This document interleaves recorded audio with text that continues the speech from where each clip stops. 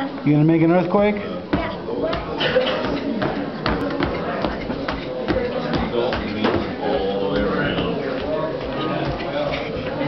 Keep going, keep going. Look at that earthquake.